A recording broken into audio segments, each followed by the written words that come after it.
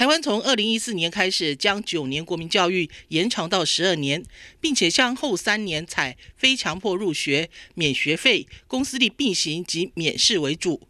十二年国教中的后期中等教育还包含了高中、高职及五专前三年。而在这场讲座中，新北市教育局人员就表示，因应如此的教育政策，市政府投入了资源，希望提供市民更优质、创新的学习环境。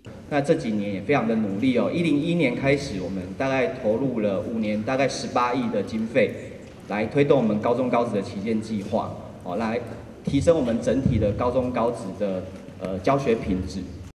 政府施行十二年国教，该如何陪伴孩子选择适合的学校就读呢？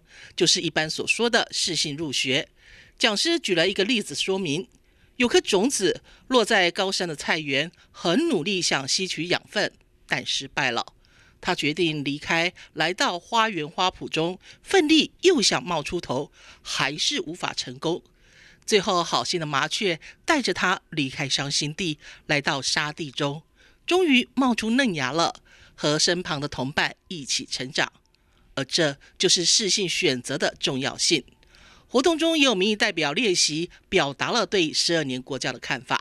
教育啊，还是在这个啊一般社区可以就读这个高中，在这里面有非常多的不同意见啊。那整个意见的整合也还是持续进行。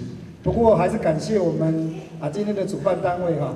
愿意把我们现在啊这个十二年国教的这些资讯跟大家宣导，让大家能够了解。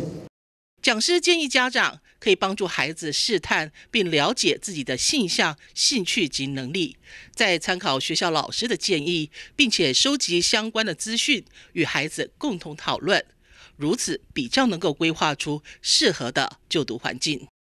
中嘉新闻卢秀娟、张怡勋综合场报道。